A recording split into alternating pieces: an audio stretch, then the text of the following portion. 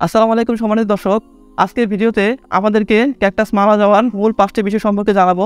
এই পাঁচটি বিষয় মাথায় রেখে আপনারা ক্যাকটাস পরিচর্যা করলে আপনাদের শখের ক্যাকটাস দীর্ঘদিন বেঁচে থাকতে পারবে। তো এই কারণগুলো জানতে সম্পূর্ণ ভিডিওটি দেখার জন্য অনুরোধ রইল, ফিরছি ইন্টুর পরেই।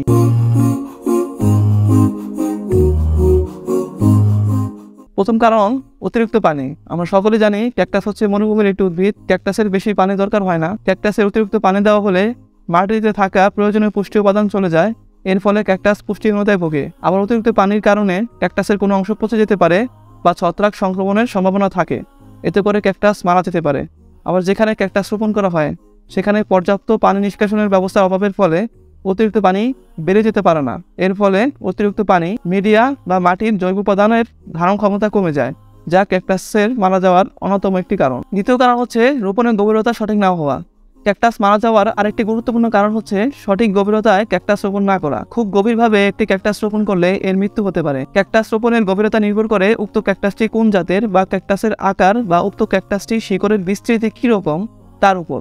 তবে সাধারণত ছোট আকৃতির ক্যাকটাসগুলো মাটির উপরিভাগ থেকে এক থেকে দুই ইঞ্চি গভীরে এবং মাঝারি থেকে একটু বড় আকৃতির ক্যাকটাসগুলো চার থেকে ছয় ইঞ্চির গভীরে রোপণ করা হয়ে থাকে। ক্যাকটাসের শিকড়গুলো যাতে মাটিতে থাকে, এরকম গভীরতায় রোপণ করলে হবে। তো সবচেয়ে ভালো হচ্ছে যে নার্সারি থেকে ক্যাকটাসটি কিনবেন, তার থেকে অথবা অভিজ্ঞ কারোর সাথে আলোচনা করে ক্যাকটাসটি রোপণ করা। তৃতীয় কারণ হচ্ছে ফাঙ্গাল ইনফেকশন বা কান্নপচা রোগ। বিভিন্ন কারণে ক্যাকটাসের ফাঙ্গাল বা ছত্রাক দ্বারা ইনফেকশন হতে পারে।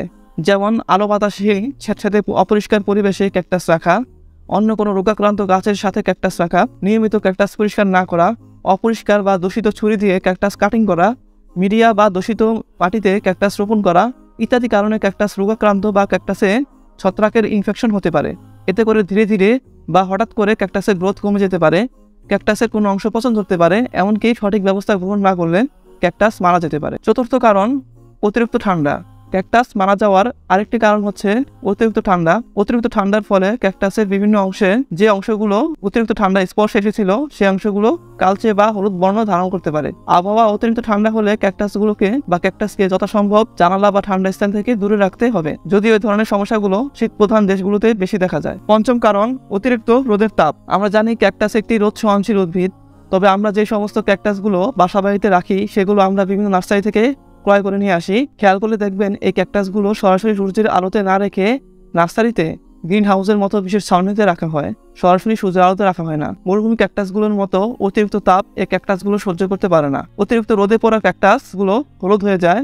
আবার কালো দাগও পড়ে। যদি ওই সমস্যা ক্যাকটাস নিজে থেকে রিকভার করতে পারে, তাই ক্যাকটাস নার্সারি থেকে আনার সাথে সাথে রোদে না দিয়ে ধীরে ধীরে দিনে এক থেকে দুই ঘণ্টা রোদের আলোতে রাখা যাবে। মানে রোদের সাথে এটা একটু ক্যাকটাসকে একটু পরিচয় করানোর চেষ্টা করবেন। রোদের তাপ সহনশীল থাকলে এর বেশি সময় ধরে রোদের আলোতে রাখা যাবে। সম্মানিত দর্শক, আজকের ভিডিওতে আপনাদেরকে ক্যাকটাস মারা যাওয়ার মূল কারণগুলো জানানোর চেষ্টা করেছি। তবে আরেকটি গুরুত্বপূর্ণ বিষয় আপনাদের জানা দরকার, সেটি হচ্ছে এটি সজীব, সতেজ রোগমুক্ত ক্যাকটাসের রোগ প্রতিরোধ ক্ষমতা খুবই ভালো থাকে, যেগুলো সহজে রোগাক্রান্ত হয় না। তো আপনারা যেখান থেকে ক্যাকটাস নেওয়ার চেষ্টা করবেন চেষ্টা করবেন যেন ক্যাকটাসটি সজীব, সতেজ এবং রোগমুক্ত হয়ে থাকে। তো সম্মানিত দর্শক, আপনারা আমাদের কাছে পেয়ে যাবেন ভারত থেকে আমদানিকৃত সজীব, সতেজ, রোগমুক্ত প্রিমিয়াম কোয়ালিটির বিভিন্ন জাতের ক্যাকটাস আমাদের কাছে থাকা প্রিমিয়াম কোয়ালিটির ক্যাকটাসের দাম জানতে চাইলে উপরে ডান পাশে এই আই বাটনে থাকা ভিডিওটি দেখার জন্য অনুরোধ রইল।